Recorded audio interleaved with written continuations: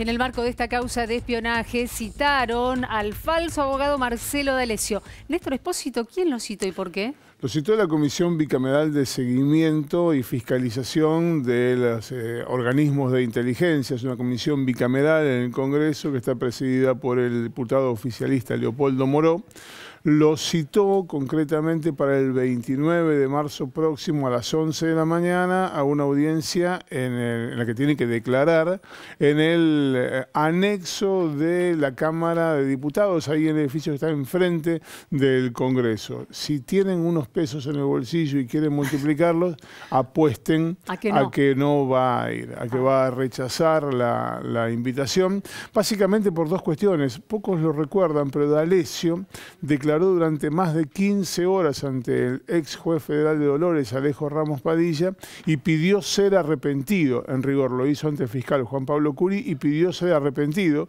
y el juez Ramos Padilla lo rechazó.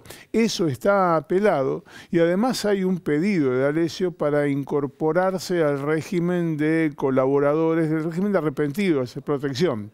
Esto que estamos viendo es la citación que le cursó ayer el presidente de la Comisión Bicameral, eh, Leopoldo Moró, para que se presente a declarar. Por consejo de su abogado, Claudio Fogar, todo parece indicar que D'Alessio no va a ir, no está obligado a hacerlo y esto no le significa un perjuicio para su situación. Recordamos, D'Alessio está procesado, detenido desde hace dos años y además en estos momentos afronta un juicio oral y público por intento de extorsión a un agente aduanero llamado Gabriel Traficante.